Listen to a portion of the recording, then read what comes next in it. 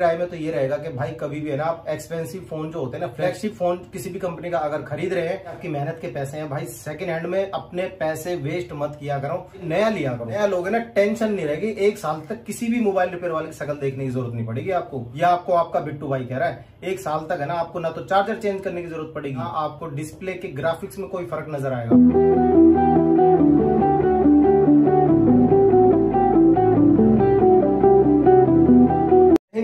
दोस्तों कैसे हैं आप? देखो, आज बड़े दुख के साथ मुझे ये वीडियो बनानी पड़ रही है। भाई, एक प्रियांशु भाई ने मुझे मेल करी है, बिहार से मेल करी है। इन्होंने एक रिफर्बिश फ़ोन खरीदा था, यानी कि सेकंड हैंड फ़ोन खरीदा था, दिल्ली से ऑनलाइन ऑर्डर करके। और इनके साथ ऐसा स्कैम हुआ। मैं आपको फ़ोटो दिखा देता हूँ यहाँ पे, इनकी मेल भी दिखा देता हूँ, चार अगस्त की है। तो इन भाई के साथ स्कैम ये हुआ कि फ़ोन है एस ट्वेंटी जी और इसका जो फिंगरप्रिंट है ना, वो ठीक से काम नहीं कर रहा था तो इनके हाथ से डिस्प्ले उसकी उखड़ गई।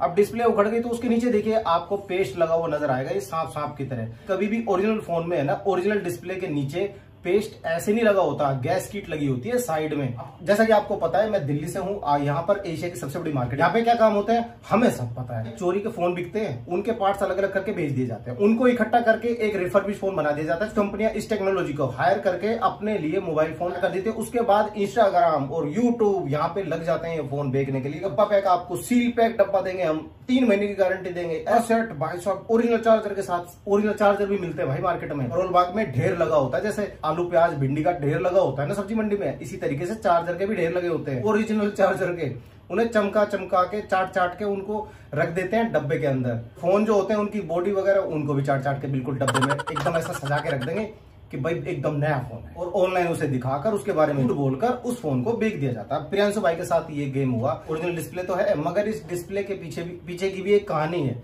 देखिए, कई बार ऐसा होता है ना झपटी वाले फ़ोन जो होते हैं, इनमें कई बार ऐसा होता है, छीनते वक्त पत्ता कट जाता है, या फिर फ़ोन गिर जाए हाथ से डिस्प्ले का पत्ता कट जाएगा, ये वाला। देखो ऐसे वाला। इस पत्ते को है ना हम जोड़ देते हैं जंपर वगैरह मार के, ठीक है? जंपर मार के ऊपर से टेप लगा देते हैं, पेस्ट लगा देते हैं, उसके बाद वो पत्ता जुड़ जाता है, डिस्प्ले आ जाती है सही सलामत। मगर जिस फ़ोन में ये डिस्प्ले लगेगी, फ़ोन अगर हल्का सा भी कस्टमर के हाथ से गिरेगा ना तो उसके बाद वो जो हमने जुगाड़ किया था ना जंपर वाला, जम तार वगैरह मार के तो वो वो जुगाड़ हट जाएगा, उसके बाद डिस्प्ले में दिक्कत आ जाएगी। ऐसी कहानियाँ करके मार्केट में फ़ोन बेचे जाते हैं। मैं तो कहना चाहूँगा, भाई अवेयर रहिएगा।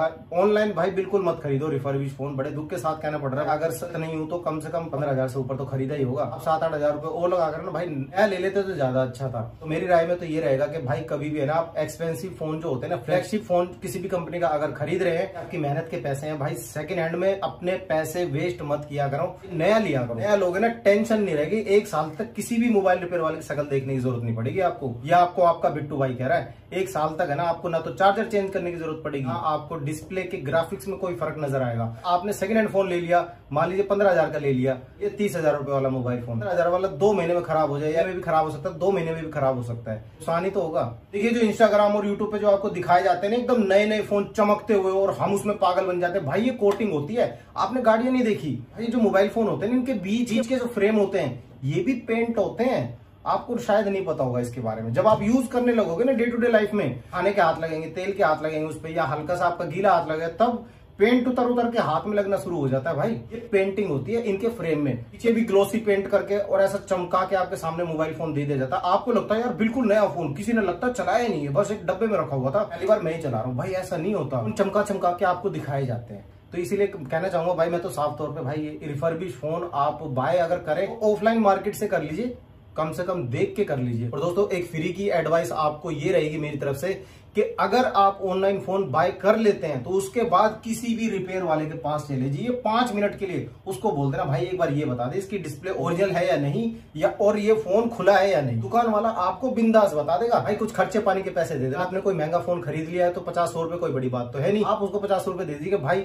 सौ रुपए ले ले मगर मुझे ये सच बता दे कि ये फ़ोन खुला है या नहीं।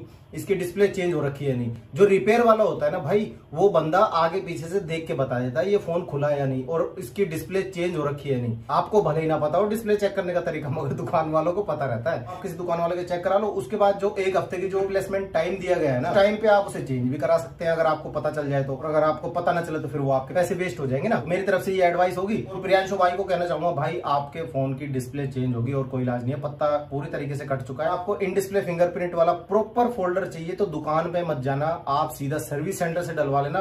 बिंदास काम करेगा टेंशन फ्री होके आप डलवा सकते हो। वीडियो कहना चाहूँगा, जितना हो सके शेयर करना अपने दोस्तों के साथ, ताकि उनको भी पता चले ऑनलाइन मोबाइल फ़ोन लेने से क्या नुकसान हो सकते हैं, इस तरीके के नुकसान होते हैं। और फ़ोन खोलने के बाद देखिए, इस तरीके से डिस्प्ले उसकी नज़र आएगी, चिप, चिपकाई हुई। बीच में भी पेस्ट लगा देते हैं मोबाइल रिपेयर वाले देख के इस वीडियो को हंसेंगे। बीच में भी पेस्ट लगा देते हैं, ताकि डिस्प्ले की फिटिंग प्रॉपर आ जाए। चैनल पर नए मेहमान हो तो सब्सक्राइब कीजिएगा। हमारे चैनल पर आपको ऐसी जानकारी मिलती रहेंगी। मैं मिलता हूँ आपसे अगली वीडियो में तब तक के लिए जय हिंद जय भारत